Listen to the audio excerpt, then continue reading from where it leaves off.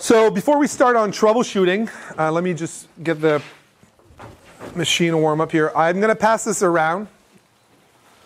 This is now this is not a commercial grade, you know, uh, fluke multimeter, super expensive. Oh my God, I'm a pro. This is sort of like I want a multimeter with a clamp on amp meter, you know, light use, right? My technicians don't have this. They're geeking out and they're going with more expensive models because they're doing it, that's their trade, it's their livelihood, right? But in terms for a boater, someone that is using a multimeter for light use, this multimeter with a clamp on, right? So you don't even have to disconnect a circuit to see what the amps going through the circuit are going are doing. You can just literally clamp on and you can literally see is my windlass drawing too much power? Is my inverter drawing too much? What's my fridge doing? Is it is my fridge on? Is it drawing any power? I think I can't hear the compressor, but is it drawing any power? You can literally put that around a single conductor right, the positive or the negative, and you'll actually be able to see if a device is drawing power. Or you might be curious, which I encourage everyone to be. Curious is good. You might be saying, I actually want to know what my loads are drawing on my boat. I don't know. Like, how much does my fridge draw? Right? How much does something draw? You're just, you want to know. You don't have a battery bank monitor and you don't know what the amps are and you're kind of curious. Like, how much does your anchor light draw? You'd be shocked if you don't have an LED one, it is like, oh my God. You could lose on a sailboat running that anchor light. No joke, a third of your battery, your a third to a quarter of your battery usage in a day could be your anchor light.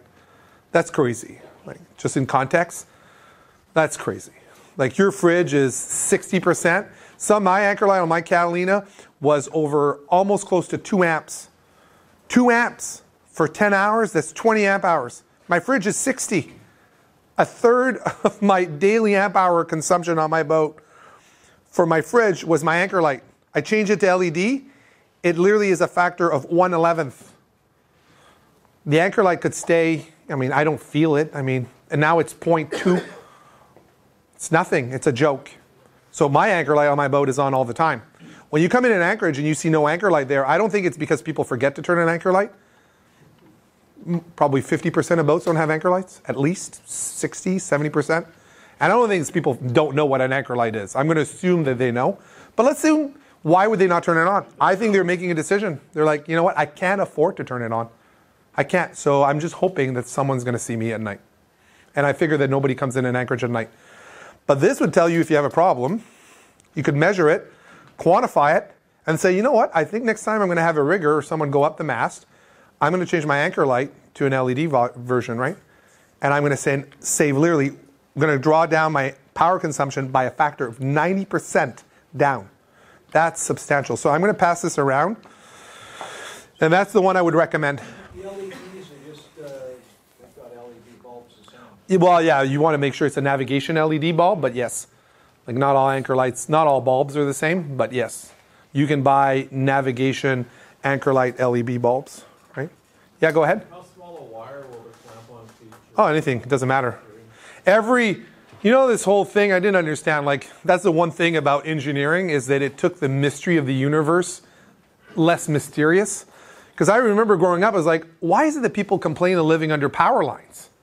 And they were like, oh, you know, it's dangerous, magnetic field. I'm like, what the hell? The lines are so far up. Like, what does it matter? Well, the amps are so great, even though it's high voltage, that every wire has magnetic flux going through it. There's a magnetic field that comes through a wire. A way to offset that is actually twisting the wire. That's why some wires are twisted. Twisted pair to offset that magnetic flux. But wires and cables are just straight. And so every wire has actually a magnetic flux that goes through it. And the orientation of that field, like this or like this, will tell the direction of if the current is a pull or a draw. A pull or a charge, I mean. So you can actually tell, are my batteries being charged or discharged? They will actually give you polarity on the current. Not just the amount of current going through, but actually, am I getting a charge or am I getting a discharge? So, I mean, that device is, I'm not sure online, I can't remember. $189. 189 US or Canadian? $189 Canadian. I don't know if someone has hired a pro to work on their boat. but the labor rates are will make that device pay itself pretty sh- quickly. And most of the so-called experts that work self-proclaim experts that work on your boat won't have one because again, they're fortunate, they're infused with knowledge. And generally their advice when something's broken is replace it. Right? They don't diagnose, they don't isolate a problem. It's too hard, right? And their advice, I hear it all the time. Someone told me my GPS, my chart plotter doesn't work, my GPS has failed, it's time to replace the chart plotter. I'm like, you mean your radar, your sounder, your chart plotter, all those multiple of thousands of dollars you're going to replace because your external GPS antenna, that's an internal battery, has failed? We're going to just throw it all away? Well, that's what my advice was, I was told. I'm like, okay, well, you could do that, or we could simply replace the external GPS and everything's still going to work. So that's what you do with stuff like that, right? You isolate a problem. And then you decide as a boat owner, you say, okay, do I want to spend more money than I need to because I want to have a new navigation system, or am I just going to do what I need to do to repair what's broken? All right, so we're going to get started about troubleshooting theory, okay? Troubleshooting is the end game in life in terms of technical skills. That's it.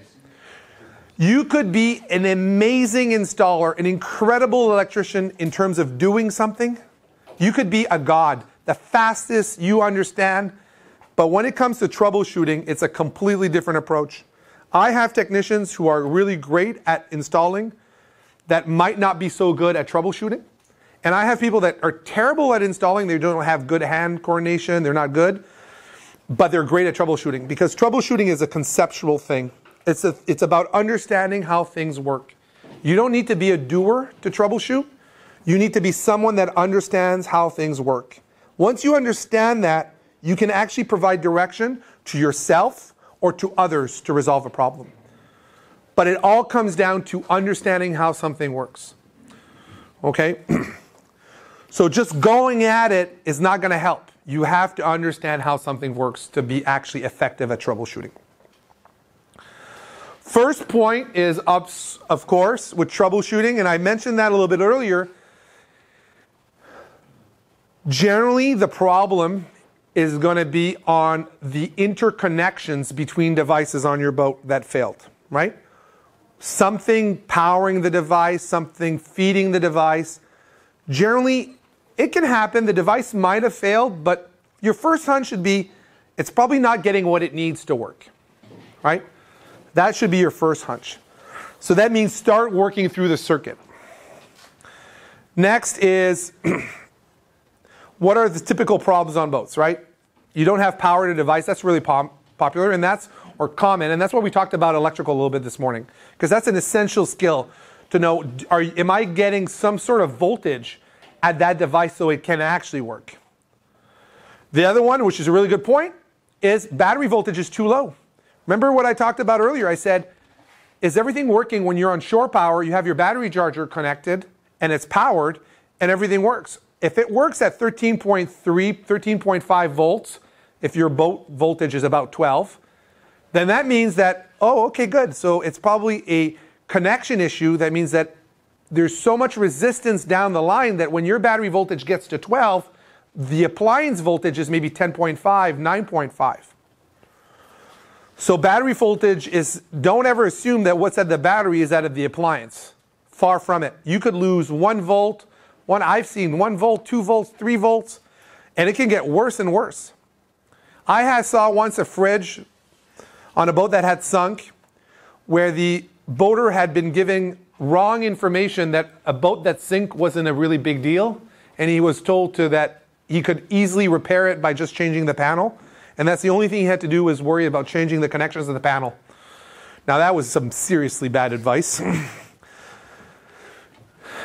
that's an understatement. And we came on board. This is after someone had just changed the panel. And the fridge would never work. But there was 12 volt at the fridge if you disconnected the wire. 12 volt at the fridge under no load. Soon as you apply a load, if you were able to put your multimeters on the wiring under load, meaning when the fridge would turn on, the volts would drop to two. The connection was so corroded that as soon as a small load, like a fridge doesn't draw a lot, it's 5 amps, 3 amps, 4 amps, as soon as that 4 amp load would be applied, the voltage would drop all the way down to 2 volts. The connections at the fridge had never been redone. The boat had sunk, the fridge had been replaced, but the connections at the fridge had never been redone, and they were corroded. The boat had sunk in salt water. Corrosion on the terminal or the connector, right? A broken wire can happen, but in my experience, and it's extremely rare, wires don't break other than if a fuse blows or if a terminal gets undone. You know those god awful spade connectors that you, we see on our boats that some builder thought was a really good idea because it takes too long to undo a, a nut and to put a ring connector on? Right? You see that on a lot of panels. Like they'll actually have push-on spade connectors, right? They're not a fork, they're not a ring. You likely push them on and you can pull them out. Starters are like that, believe it or not. I had that on my boat. Hotham Sound, Harmony Islands, 2006, inaugural trip. I'm on the boat. I'm a systems engineer. I have an electrical engineer and I have another electrical engineer. We hang around together, of course. Didn't understand what the hell was going on. Fresh out of school, right? I know nothing. School doesn't teach you much other than maybe you can figure it out later. And our starter wouldn't start. What the issue was, the spade connector on the starter solenoid was loose. As soon as you'd actually apply the starter button, there's a little bit of load to run the solenoid, the voltage would drop and the starter would barely click, but not enough to be engaged to let the current go through the solenoid to actually the starter. I didn't understand that. Didn't have a clue. Nobody could figure it out. Well, we certainly couldn't. I didn't know what the hell I was doing. But that was because of a spade connector, right? Same thing on the back of a panel. Those little connectors can actually come off. Or what happens is over time, they, they're not as friction, right? They're actually, they've opened up and you put them in there, they're loose and they vibrate off, right? Because your boat doesn't live in a garage where there's no vibration. It's in the water. Sometimes the waves, you're actually dropping off a face of a wave, right? There's forces there, right? So don't worry so much about a broken wire. It can happen, but it's extremely, extremely rare. It's generally a connection issue that, that you're going to find. Chafe wire is definitely a problem. Also a little bit rare. It's sort of another break. It does happen. Does happen. If you're going offshore, chafe is a real problem because your boat's moving 24/7 every day, all the time. There's no such thing as being at an anchor. Like there's not a lot of anchors in British Columbia. Like you go anywhere else, 360 anchorages don't exist, right? I mean, we're in bomb-proof anchorages everywhere here. You go in the Caribbean, there's no bomb-proof anchorages like we have here. There's very few, right? And so at night, you're constantly moving. And as you're moving, if the wires are not properly tied down, they're chafing, right? And that rubbing eventually could cause a short. And that I have to say is a blown fuse or breaker has got to be top of your list. Remember back when I said the beginning, you got to know where your fuses are? Well, that's essential because if you're looking for a fuse or you decide that you're going to put your fuses in your boat sporadically everywhere throughout the boat as you see fit, you're not going to put them at the beginning of the circuit or at the end of the circuit because you might have a fuse for the wire and then have a fuse for the appliance. Like on my boat, I've decided that I'm going to fuse all my appliances with one fuse at the beginning of the circuit that is both there to protect the wire and the appliance. All my fuses are at the start of the circuit. Even though the appliance is far away, I'm fusing everything at the beginning of the circuit. You could put a fuse for the wire at the beginning and then a fuse for the appliance, but then you've got two fuses in the circuits. And I'm not putting them randomly. We talked about that yesterday. I'm putting the fuses at the beginning of the circuit. And it's not a choice, it's a have to. Okay, black and white.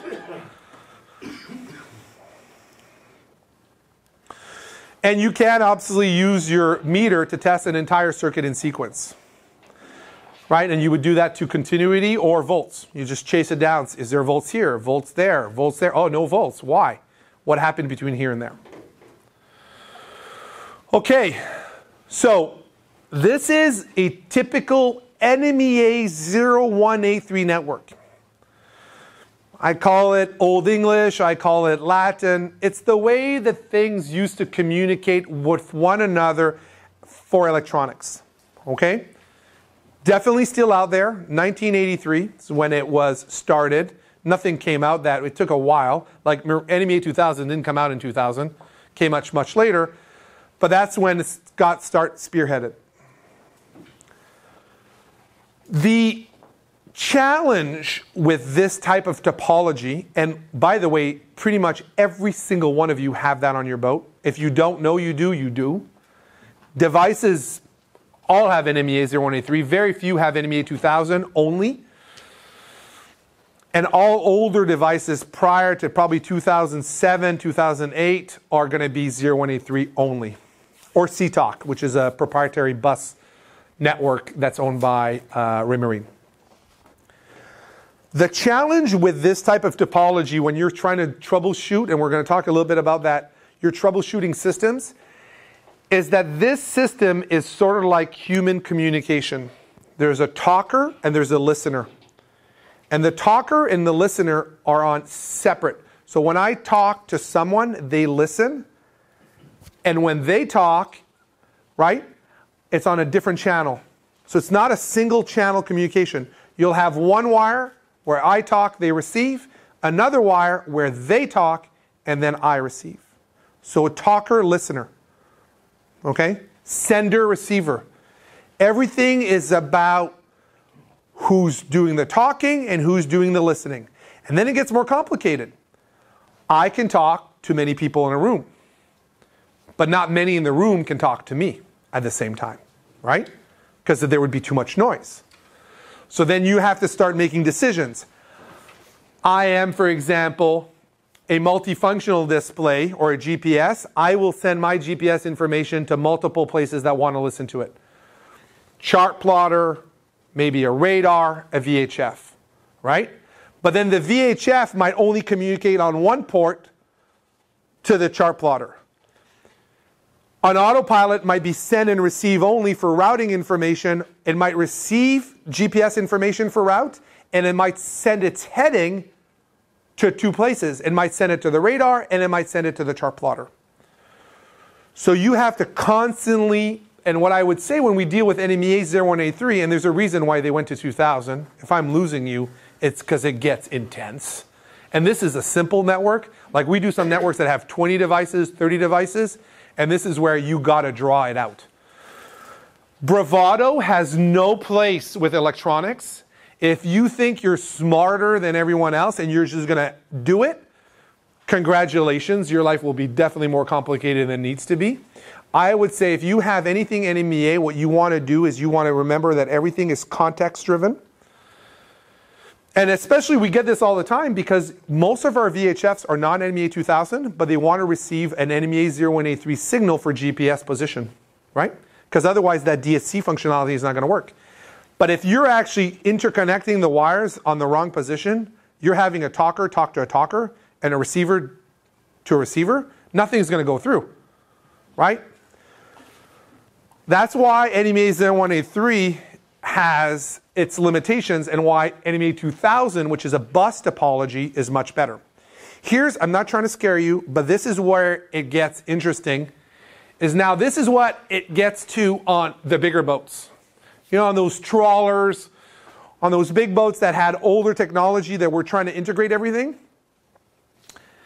These are all these sort of devices, you know, two GPSs are going to one device then you got multiplexers. Then you might even have, sometimes what you're going to have to happen is you're going to, we talked about it, there's so much information coming. I need to start prioritizing information from one place over another place. Then you literally have to go into a laptop and say, I don't want these sentences to go through. I know you've got all this information, but I don't care. I want you to block 99 of them, and I only want you to let one through. So you're actually starting block info, you're letting it through. So folks that have maybe this starts happening around 50 footer, 50, 55, 60, 70, 80 footer. At that range, you're starting to have a network like that. And then that way where it's not easy because there's a lot of pieces in the puzzle that are actually trying to make it all work. And that all happens at NMEA 0183. So if you're troubleshooting an NMEA 0183, just remember to go very slowly, look at the color codes, and remember when someone says, I'm a talker and receiver, the other one, you don't connect talker to talker and receiver to receiver. A talker talks to receiver, right? And the talker here talks to receiver down below. Everything is context driven. I see this all the time. People are connecting talker to talker, receiver to receiver, and nothing goes through. And the most simplest, uh, simplest um, example would be VHF radios, right? That's the normal way that people interconnect their VHF radios for GPS is over NMEA 0183. If you're lucky have to have an NMEA 2000 network, then it makes your life much easier because it's a bus topology. You don't have to worry about any of that. Any questions before I leave NMEA 0183 on a boat? So, excuse me, to actually check along that wire, so the color-coded wires, how will you actually see if the information is passing? Um, You check each module to know if that module is actually operating. Yeah, that's a, another good question. How would you see? So you've done the work, and and you want to figure out. A lot of MFDs will actually have. You'll go into a port. You'll go and start going in the menu. So now you're going. You're putting your hat on. You're like, we're going deep. You'll go through a menu. You're going to go communications, NMEA 0183, and you're going to go buffer or something. You're going to have some sort of seal, and they're going to a stream of consciousness. Imagine, remember the matrix? That's what it is. And it's going to start showing you all these lines. And then you can start it and stop it because it's constantly going. And you're like, just start filling up the buffer, start, stop, and then you go through the lines and you can start seeing all the sentences that are refe- received, which don't make any sense to you. They're not saying like depth. Depth receive is 48.4. No, it's a little bit more cryptic than that. And then you go through it and you're like, oh yeah, I'm looking for, for example, we're troubleshooting an autopilot and we're saying, is the autopilot sending heading? We're losing heading on the chart plotter. So we go into the buffer on this chart plotter and we're looking and we're seeing where's the heading sentence? I'm not seeing it. And sometimes what happens is it's overcrowded. There's too much information happening on a multiplexer. There's so much information coming in, it's getting lost. And then so when you do is process of elimination. Let's remove all variables. Let's turn everything off. Let's just have autopilot only talking to chart plotter. Oh, then it starts slowing down. You're like, okay, it's there. As soon as we turn one thing, okay, that's fine. You turn another, eh, it's we're losing. You turn another fourth one, then it starts to be sporadic. You're like, oh, overloading of information on that bus. And that's where then you go, can we increase the bus speed? Oh yeah, we're not using AIS. It's only 4800. We could go to 38,400. Let's increase the bus speed, go faster. Now does it work? Yeah, higher throughput, no problem. So you do the diagnostics on your probably multifunctional display. You're never going to be able to do that on an autopilot or an instrument. Or if you totally geek out, then you would have a device like this. And some of them will actually have a USB port, and you can then go with software, and then you're talking like full geek. You're looking at the sentences and everything else, and now that's not probably for the light of heart. You know, the, the rule is, and honestly, I'm the same. Like, I'm good up to a certain level, but I've got a few guys on my team that are way better than I am. And everything has a pay grade, right? Like, I, I'm a concept guy, but I'm not out in the field like some of my technicians. Some, some of them, every time it gets really, really, really intense, I'm like, congratulations. You're paid to think, right? I'm considering you my little Navy SEAL, right? You're making the big bucks. So I'm putting you, drop, dropping you right in there, and you're going to figure it out. And then they ask me, how much time are you giving me? I'm like, we've got the go ahead four hours, eight hours, whatever. You go in there and start scratching your head. And if you want to, we'll put up a chat channel, we'll put up multiple people. You want someone else, let us know. And then everyone at one point get to a top level. And I get to a top level too. And sometimes my technicians, it gets, well, one of them maybe not, but most of them get to a top level and like, okay, who can we talk to? Ask a friend, ask an engineer, ask a colleague in another business, right? Then you start relying on other people. You're, the point is with troubleshooting, you're always going to find a limit to your own skill set. And then you start bringing in experts, right?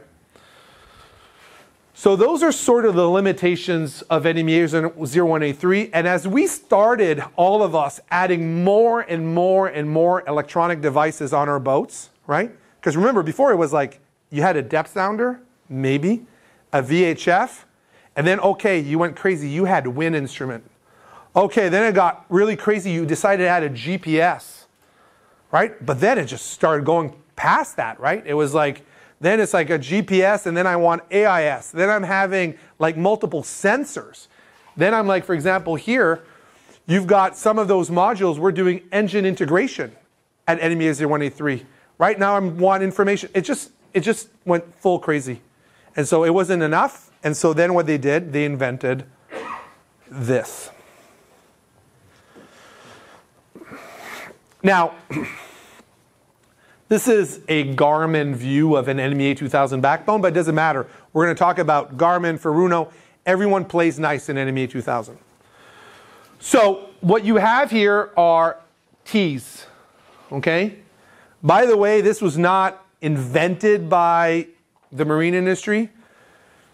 Um, this was actually invented by Bosch. This is used in robotics and they simply adapted this technology to go on boats. Okay? It's a control network, CAN. You have one single backbone. That backbone has a maximum length, but for most of us, it's not going to be a challenge. On a big, big boat, like a 100 footer, then it starts being a challenge as you've got to go multiple levels up on a boat. But on a normal boat, like a 50, 60, 20, 30 40, unless you get to a super, not a super yacht, but like a big, big boat, you're not going to have a big challenge with this backbone length.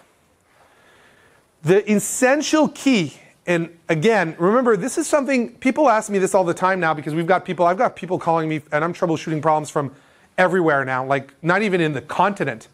And they're like, Jeff, I would like you to be here, but how do I go about finding someone locally? And I always think about how I do and I find someone myself. I'm like, first thing is, you never ask someone a simple question where they're going to know the answer and then tell you what you want to hear. Because everyone in general, there might not be as honest or forthcoming about their troubleshooting skills because they simply want the work.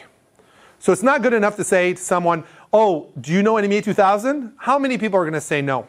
The good people are going to say no if they don't know. But there's a subset of people that will say yes and they don't know. And so what you want to do is you want to suss out are they really qualified or are they pretending to be qualified?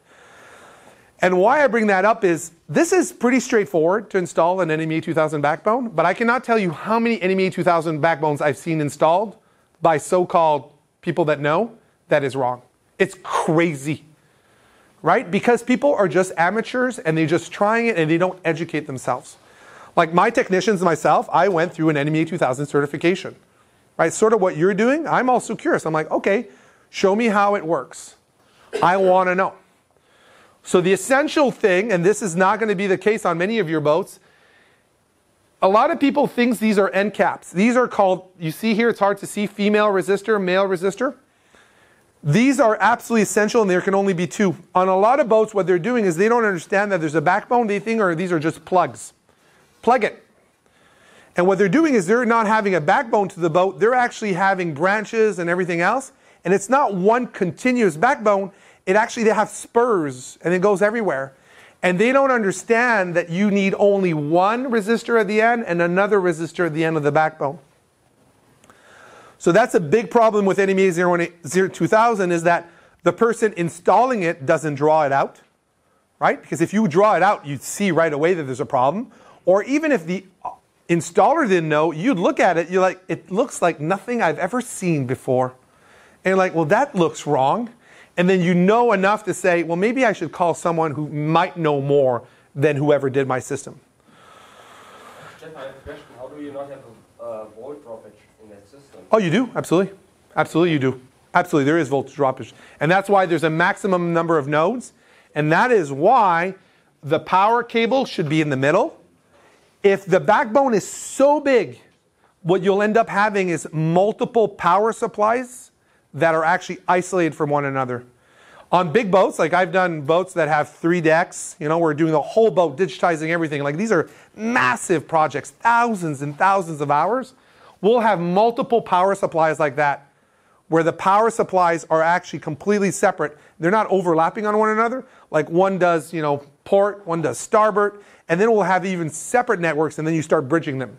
That gets in the stupid realm again. Anything's possible, remember, but we're going to keep it vanilla, simple, right? Let's keep it simple. So what you would do on a normal boat is if you're installing a backbone and you're going from, you know, first deck, starting from the engine room, you go down, go up into the flybridge, the pilot house, maybe go to the flybridge, go up to the arch, right? You're probably going to want to install this power supply midway. So maybe you put it in, for example, in the pilot house, right? It's kind of halfway on the circuit. But again, you got to draw it out. So you see how drawing it out makes it easy? Because you'll see right away. If you don't think you have a problem, then just show it to someone, right? And I've got people that do that all the time with design. We do this stuff design remotely. People like, Jeff, I've got an idea of an NMEA 2000 backbone I'm doing. Can you guys provide consultation? I just want you to tell me where I got it wrong. Ask questions. And then they'll send me their diagram. I'm like, okay, here, there, that, this, that. They're like, thank you. And then they go and install and implement. So um, you can actually have these backbone extension cable. You can have them everywhere. Or what we end up doing too is we'll end up doing service loops because you can actually do what are called field service ends. So maybe you've got nothing in the engine room you need now, but maybe one day you will. We'll actually route the cable thinking, okay, well, maybe they'll want a battery monitor sensor. Maybe they'll want a, a temperature sensor in the bilge. Maybe they'll want a fire alarm in the bilge and they want an NMEA 2000 to relay that information to the bridge. So we'll put basically loops in places where we think we might need to cut the cable and install a T later on. Because the beauty of an NMEA 2000 backbone is that you can actually interconnect all these different drops onto the backbone, and that information goes any to any. It's a bus. When you're troubleshooting one of these networks, besides actually figuring out that you actually have the right resistance, and that your backbone is intact, what you'll probably end up doing is actually turning everything off and then turning things one at a time. Right? It's all about disconnect. So you'll physically, to turn them on, you'll actually have to disconnect them and say, okay, I only have one device. Does it work? I putting a second one. Does it work? Everything is about incremental change. It's very hard to diagnose something if you're trying to do it all at once. Now there is actually Maretron sells a diagnose device. You can have a laptop with a software with an NMEA 2000 to USB gateway. So I've got three of my technicians that have that. They'll go in, but then you're starting to be like this tech, right? You're going in the network, you're putting a T in, you're diagnosing, you're seeing the bus. You're not going to be able to do that, most of you, right? You're going to take a more simple approach. You're going to be like, well, let's find the fault is there a faulty device on the network that's causing my bus to go down, right? And then you'll start doing it one at a time and then try to see if there's one that's mis- misbehaving that's taking the whole network down. But that's how you troubleshoot an NMEA 2000 network. Any questions on NMEA 2000 troubleshooting? Yeah, go ahead. So the backbone is actually a long wire that runs up throughout the building. Correct. Yeah. And when you say the power supply in the middle, is that in the linear middle, or is that in the middle of the number of devices, like three on this side, three on that? Yeah, that's a good point. Well, it depends. Yeah, that's a that's a great question. You'd you'd have to balance both. So it's both. Every one of those devices is known by what's called a LEN. You're like, what the hell is a LEN? A LEN is an acronym for load equivalent number. Every LEN is five milliamps. They're only allowed to ever draw more than five amps.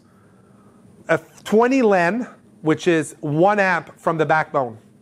Meaning, if you have, for example, an intelligent transducer that has no other power coming from anywhere else, this device can get power from the backbone only if it draws no more than one amp. A fuel sensor, same thing. Now, your chart plotter here is not drawing power from the backbone.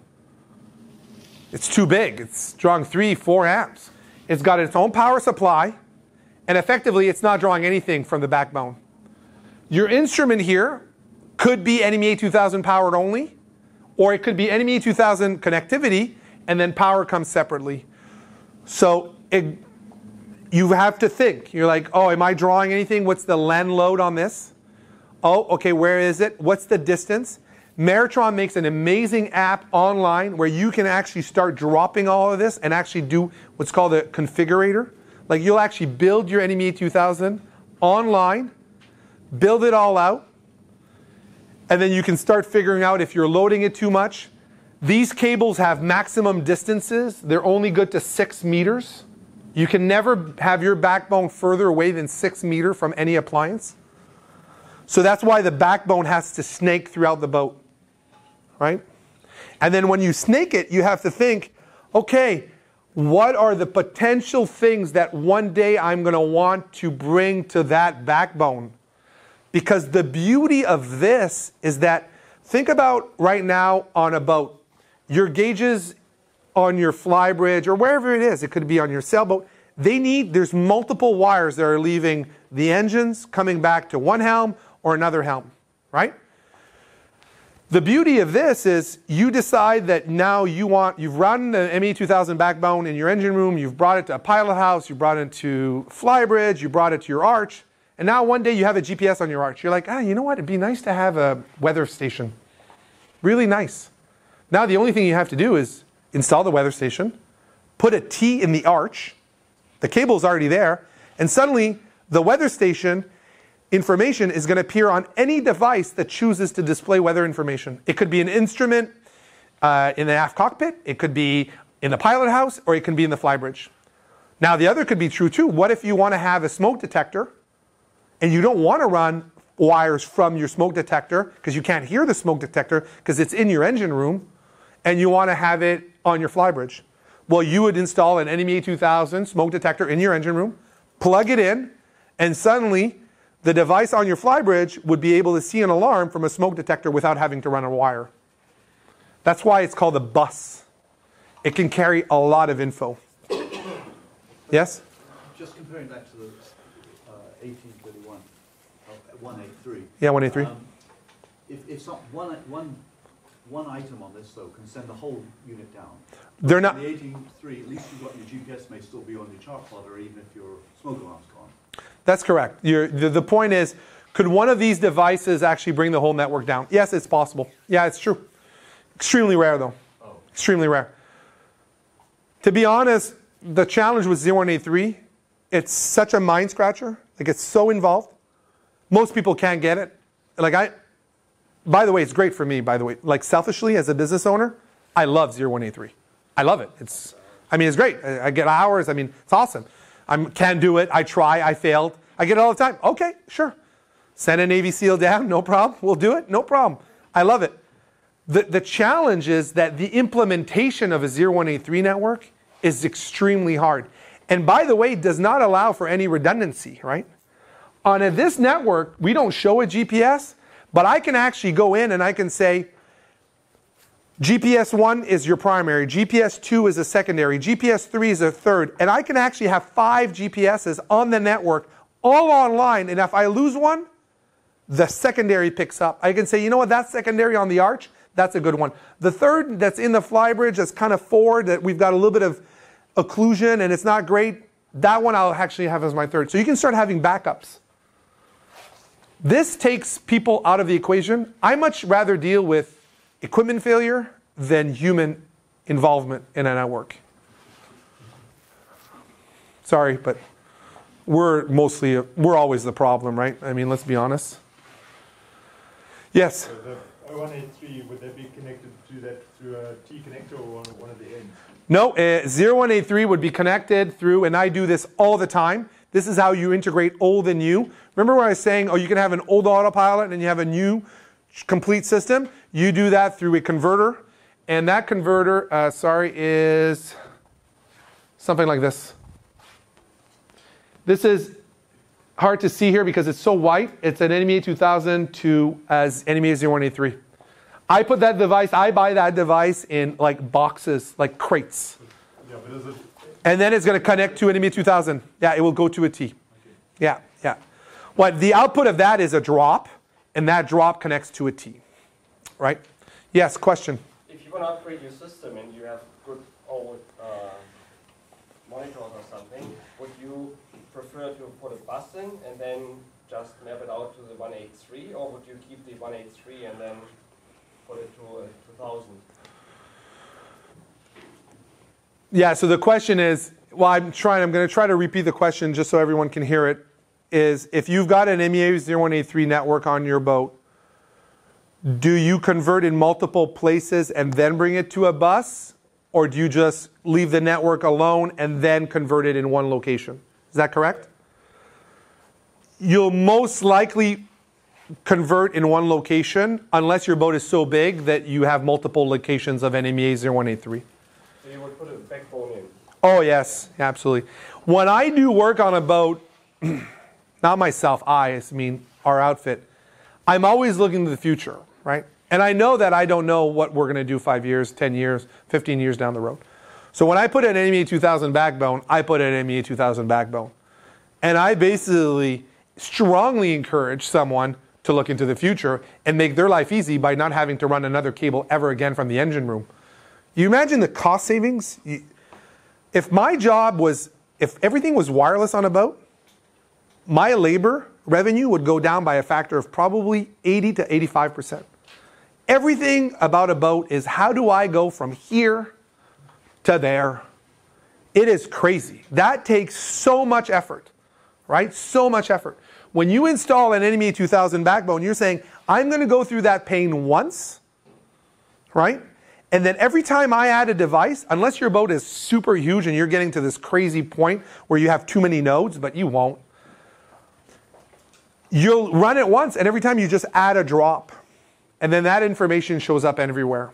And by the way, there is no limit. Like after that, you just bridge networks. And on the big boats, we don't run one backbone cable, we run two.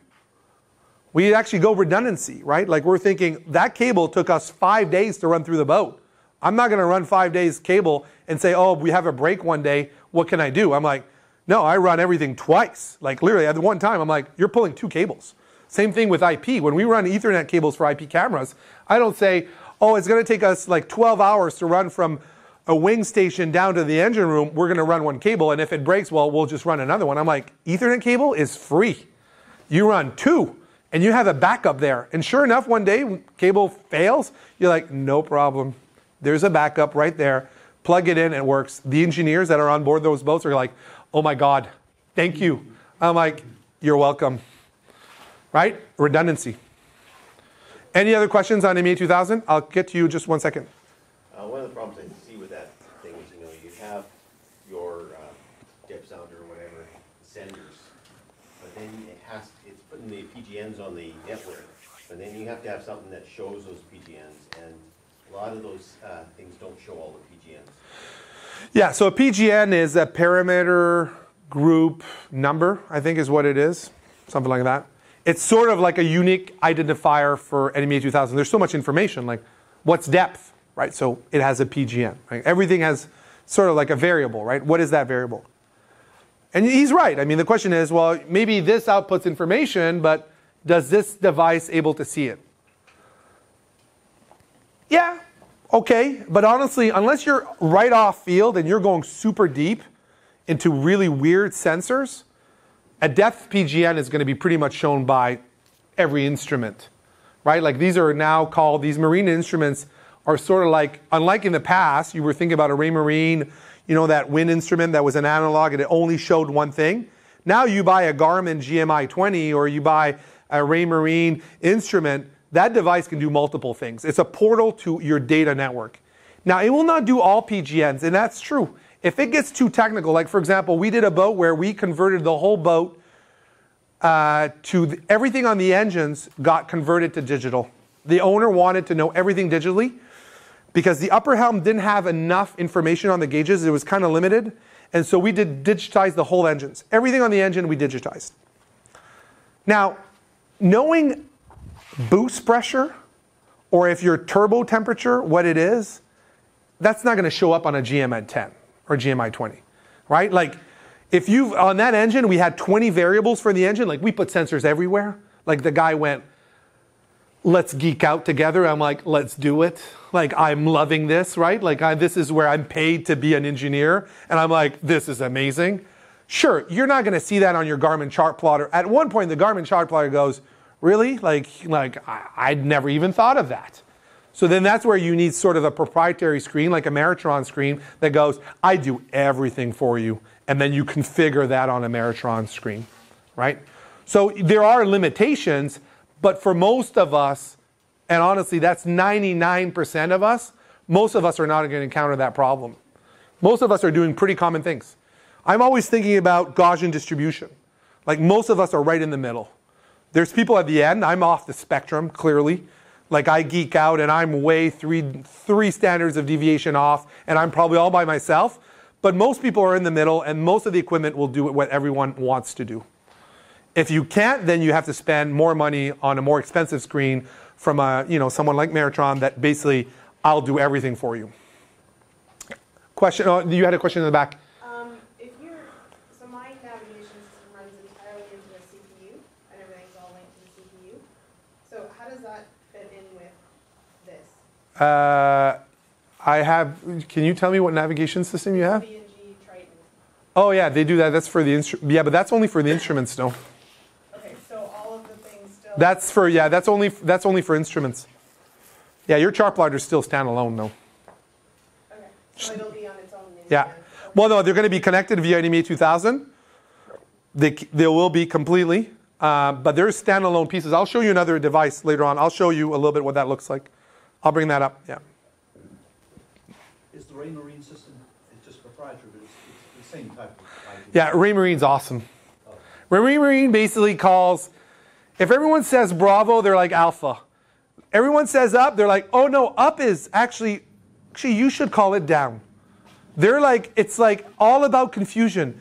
I get this all the time. People are like, oh my God, I have a Raymarine system on my boat and I'm thinking of upgrading my electronics. I think I can only ever have Raymarine forever on my boat because my boat came from the factory from Raymarine and I've been led to believe that Raymarine is the only thing that will ever work on my boat. I'm like, yeah, I know. They, they want to make it sticky, but it's not that sticky. Like, so of course, when they Garmin they decide to play nice, they're like, "Oh, it's called NMEA 2000." Oh, we're not going to change the name, and we're going to call it NMEA 2000. Raymarine, on the other hand, they're like, "Oh no, it's not NMEA 2000. We're going to call it SeaTalk NG, SeaTalk Next Generation." It's actually NMEA 2000, but they changed the connectors. They're like, "Oh no, no, it wouldn't work." Then you buy a pigtail that goes literally from NMEA 2000 to SeaTalk NG. So it's all about creating confusion so that the people that do it themselves look at it and they're like, oh, this is too hard. I'm not going down that path. I'm just going to buy Raymarine always, forever, and then my life is going to be easy. But they do that to confuse the masses. Anybody who does electronics, they're like, yeah, come on, seriously? That's a roadblock? You're going to have to try harder. like, it's not because you call something a different name that I'm like really going to lose it. Like, I can translate. All right, so again, sorry for the whitewash with the projector. It looks awesome on the screen. But this is an example of a Maretron here.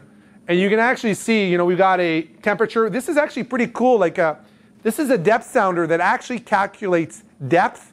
And we use this all the time on tons of boats as a redundant transducer that actually calculates depth inside the transducer. And then it outputs depth literally on that cable. So any device on the network that can read depth will get it. So trawlers, people that go up north, or people that are going up to Queen Charlotte's and they're like, I've got only one depth transducer. I'm like, okay, maybe you have one. Let's install another one on a different frequency. Make it smart. Any device can see it. It's not a, you're not going to see bottom imaging, but you're going to get it depth. So I do that. I just did that on a 100 footer. Like, we put one in and we're like, putting a second one, it's $200. Why not have two depth transducers? Depth is useful. Like, it's right up there. There's propulsion, steering, which is kind of one and the same. There's a VHF radio, and then there's depth. Sort of in that order is your top three things on your boat for safety. So having an intelligent transducer, you can do that with NMEA 2000. They're not expensive. It's not like a $5,000 line item, $200, right? Put one in the boat. The code is, you see, they're always showing, back to that question, where's the NMEA 2000 cable? Is it in the middle, right? Most of the time it is, assuming the network is balanced. right? You got a GPS antenna here. Remember what I was talking about before, the radar that doesn't radar overlay that doesn't work? Because there was no heading, smart heading sensor? That's this, solid state compass. Maretron does one, Simrad does one, everyone does one. Garmin makes two variations, an expensive one, non-expensive one. Then you've got this another one. This is the display that shows everything. Maretron has them. Now they're starting to become pretty competitive in their screen uh, pricing. You can buy some that are just instruments, which is nice as well. Right? And then this device that pretty much every one of my technicians have, or if you have a laptop on your boat and you want to see all the information off your NMEA 2000 backbone, you're going to get a USB to NMEA 2000 converter. this is just a more stuff of basically uh, this, right? Simpler, more, and then it just gets more and more and more and more. So are these all custom, Jeff, or can you get a a cookie cutter type? Yeah, it's custom is a strong word. It's tailored, but you can build one yourself. Like honestly, most of us are going to have a reasonable boat. You could draw it even up to 30, 40, 50 feet. You can draw this out by yourself. You just run a snake around your boat, and then you say, what are the things in that boat that you're going to want to connect to, right? It's not that complicated. But again, it's the back to the thing. Draw it out. Don't do anything without a plan. And I just want to emphasize this. How many great things in life have worked out without a plan? They didn't make it to the moon by just trying. There was a little bit of work that happened before that. Anything of significance, a house, a building, anything starts with a concept, and you're like, okay, let's figure this out. Put it on paper, and then share it with someone. Oh, look, I'm doing this. What do you think? Oh, you're missing. If you do it on your boat and you're like, oh, I did an NMEA 2000 backbone on my boat, what do you think? Oh, the input's going to be phenomenal. You can't see it, it's everywhere, hidden. Well, I think it's great. I mean, what, what, what i- what is someone, what kind of feedback can you possibly have if you're doing something that can't be seen? So the, I, sorry for this bit of a dumb question, but when you talk about the Ts, like do you, if you run this backbone and you wanna put another T in, you, actually cut the wire and? Yeah.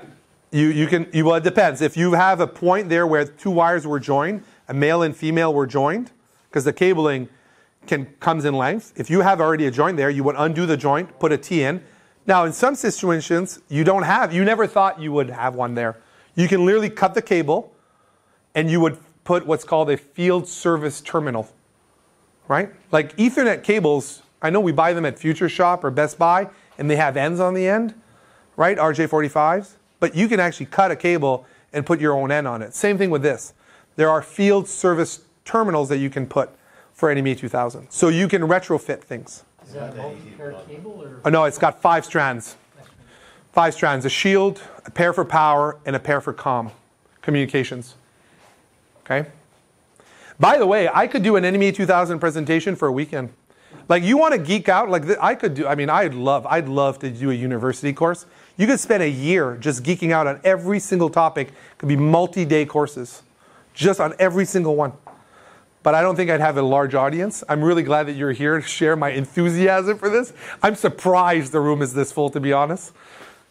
All right, any other questions on NMEA 2000 before we start looking at other things here? Okay. All right, I just want to talk because we're going to talk a little bit about nav and then we're going to do a little bit of electrical for troubleshooting as well. So we're going to do another about 20 minutes of nav. Here's a high level overview of the world today. I want you to remember that NMEA 2000 isn't really something that has a significant enough baud rate or ability to communicate large files. If you're streaming video images, cameras, sounders, radars, these are large, that's a lot of data. That will never be on an NMEA 2000 backbone. That is not. NMEA 2000 is for small data like depth, temperature, wind speed, AIS, little tidbits of information, right? Not big. So you look at this, the blue line here on this example from Garmin is NMEA 2000, meaning all these devices are sharing NMEA 2000 information, but it's low volume. It's not a lot of data. the baud rate is still within the land of the reasonable. Once you go to high amount of data, you have to have now, of course, Garmin called it the Garmin Marine Network, but ultimately it is literally Ethernet. That's what it is, like we have at home. At the office, the world runs on this. All of this is Ethernet. So that means a radar, a sounder, your chart plotters, other chart plotters, all those devices that have high amount of data are going to be over a Ethernet network. So on modern navigation systems, when you're talking from one device to the other, and this has been around since 2004 probably, when two devices are talking and sharing data, and I'm thinking Raymarine C series, and where you would configure one as a master and the other one as slave, they would be sharing radar imaging. You know, one, one screen would have the radar, and then that radar would be sent the image to the other screen. That was done over Ethernet. Of course, Raymarine didn't call it Ethernet. they have it its own name, but at the end of the day, it's an Ethernet network, right? All the companies are giving them own names to make it complicated, but it's Ethernet. So you have two networks now on a boat. You have, and realistically, probably three. You have Ethernet, you have NMEA 2000, and for those legacy pieces of equipment that you haven't changed to NMEA 2000, there's NMEA 0183. And then you have proprietary networks like SeaTalk, which is another bus topology network that Raymarine's own.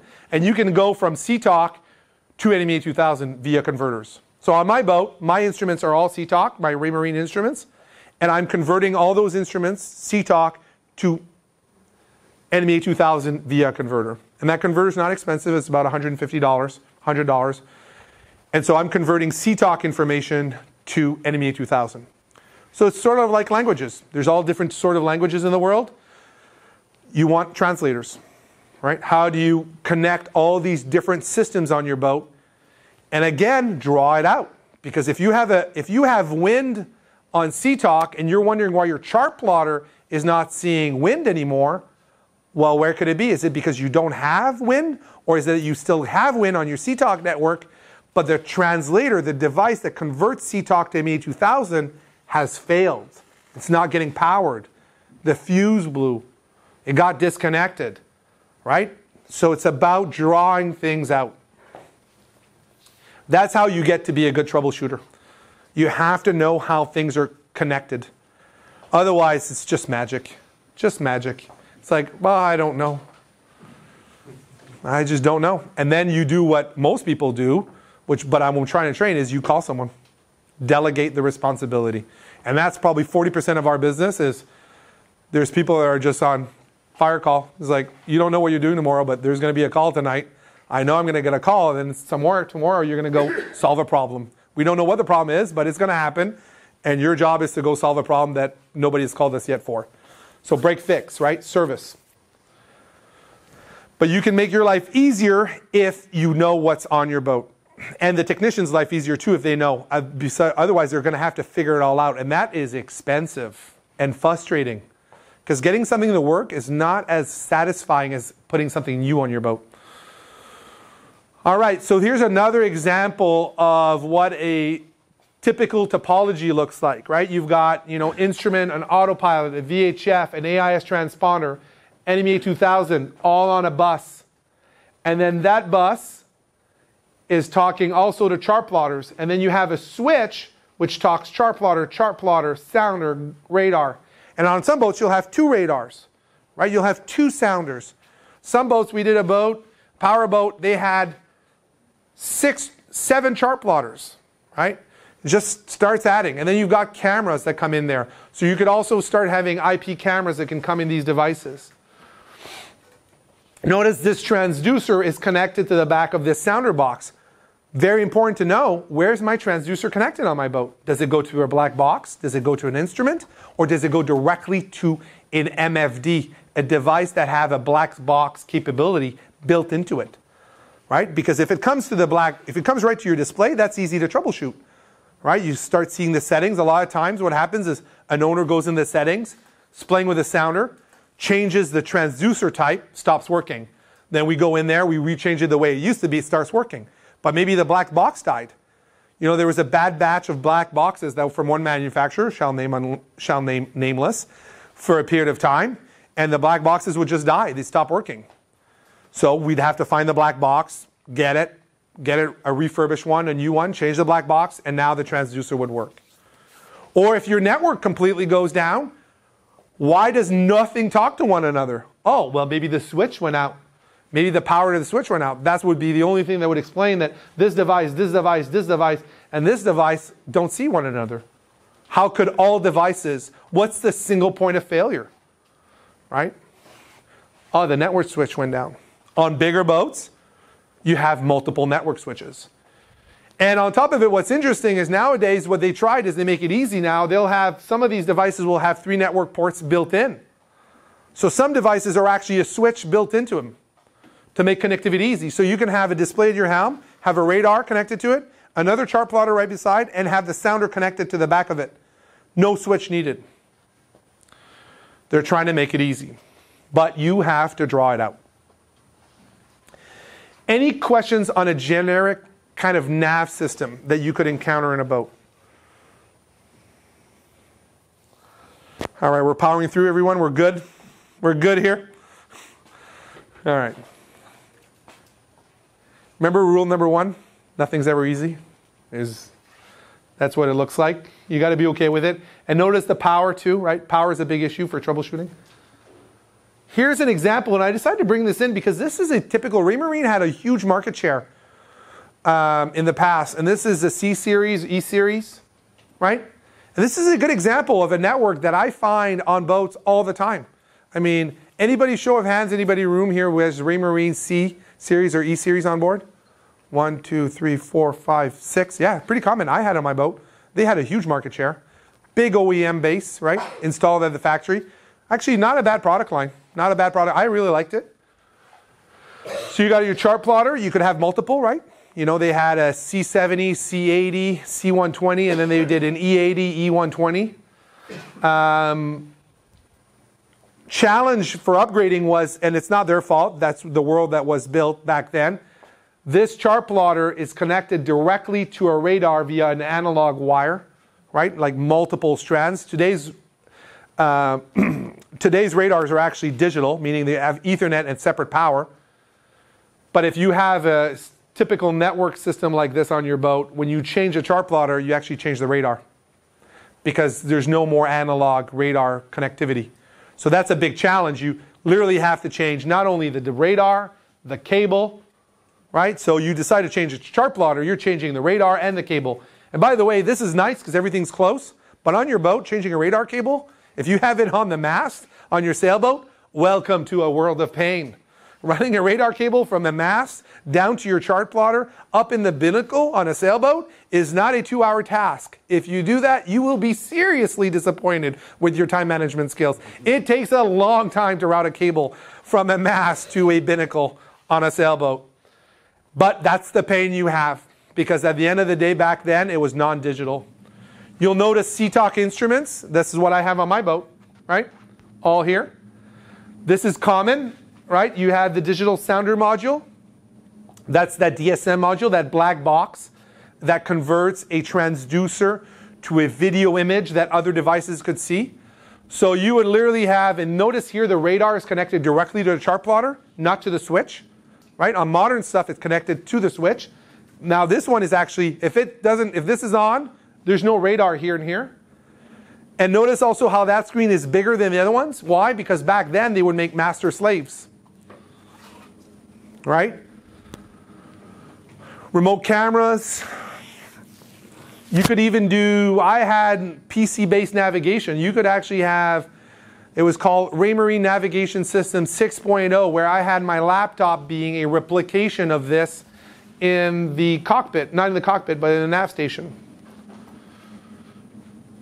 So the reality is this there is no generic playbook to solve an electronic problem because an electronic problem is specific to the equipment that you have on board. And it's specific in the sense that the topology changes depending not only on the manufacturer, but the generation of the equipment. If this, if you've got a Raymarine C Classic system, it's not the same as having a Raymarine Current system. You're going to be looking at the problem completely differently because they're not networked the same. Okay? This is an example of a Garmin system, more modern. And you'll notice there's no switch on here, right? The Garmin is directly connected to the chart plotter. Another chart plotter directly connected to there. Notice the transducer goes right into here, then shares that information what up here, and then over NMEA 2000, all this information is shared. So that's a common setup. You know, like we do a lot of power boats, lower helm, upper helm. We'll put a chart plotter with a built-in sounder device called the XSV down below. And that's what that is, XSV right here. We'll plug the transducer into here, then network cable up to there, and then a network cable from here up to there. Now, if this device is off, there's no sounder here, or if this is off, there's no radar there, right? So there's, you know, you got to balance it. But it's all about balancing money, time, right? All those are variables. Remember, perfection is very hard to achieve and expensive. Notice there's a camera coming in. They have built-in decoders now, but once you want more cameras, you need a separate decoder, and then you feed it as a video image. They can do a couple of cameras, I think. But some boats, they want four, so they want eight.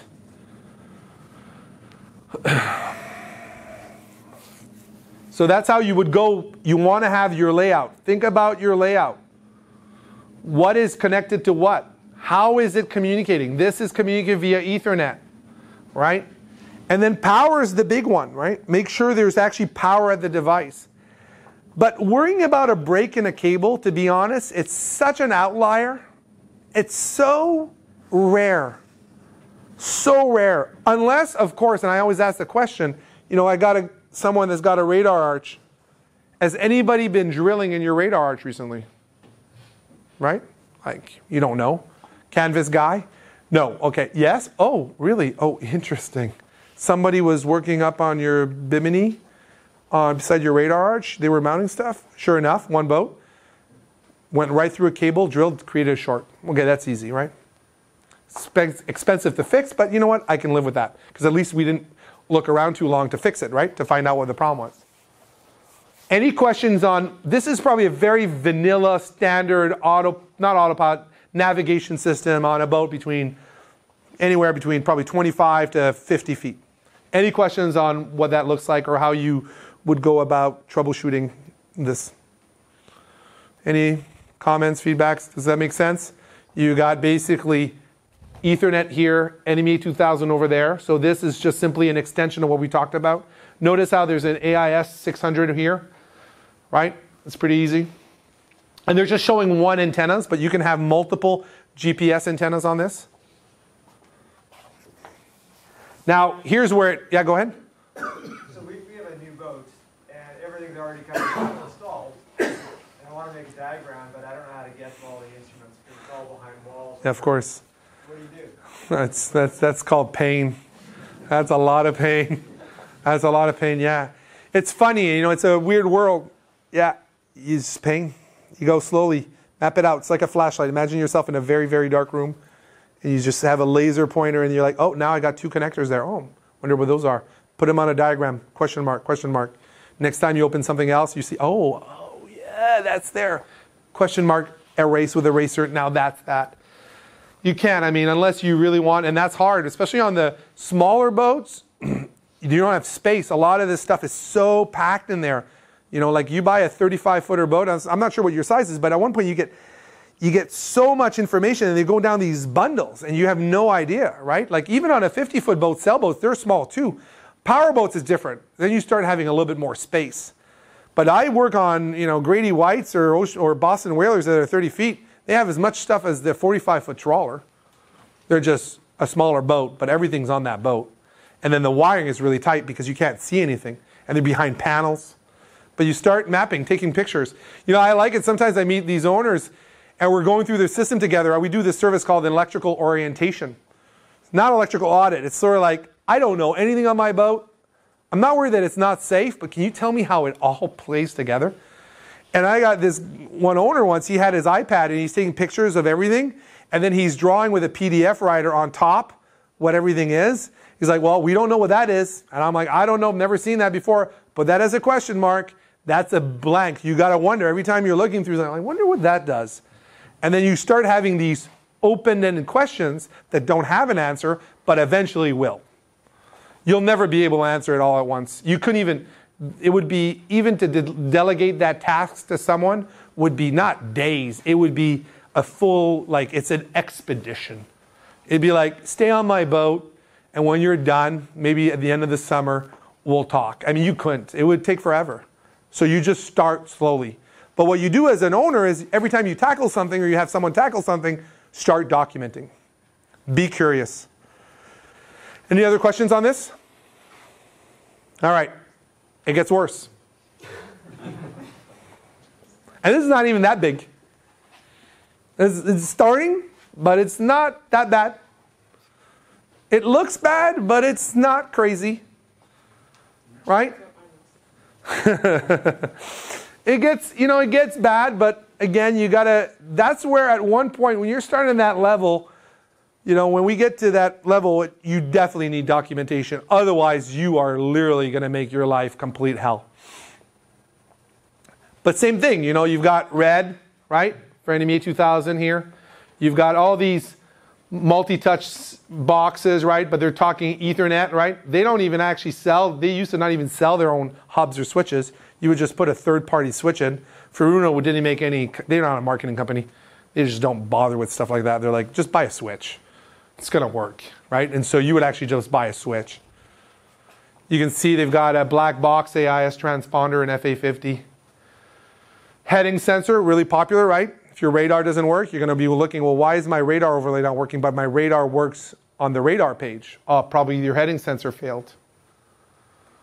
This is a device, you know, if you got junction boxes, it's a way of aggregating all this information. Translating that information from, you might have some some devices, most devices will do the translation between NMEA 2000 to Ethernet to share to other devices on the chart plotter itself, right? They're going to actually go, okay, I've got all this information. Like, for example, a really cool one is Vesper. They're actually, the one I was talking about, the AIS, they'll actually take all information, be it 0183, NMEA 2000, they're going to aggregate it, and then they're going to take it, and then if you want, you can actually see on your phone, it's a portal to not only things that are AIS, but all data on your boat, like depth, wind speed, speed on ground, course on ground, sea temp, whatever it is, sort of data, and you're seeing all this data right on your phone. So it's a portal to all your navigational or kind of data. You're not going to see a radar image, you're not going to see a chart plotter, but you're going to see data on there. All right, we're going to take a small break and then we're going to dive into electrical troubleshooting. All right?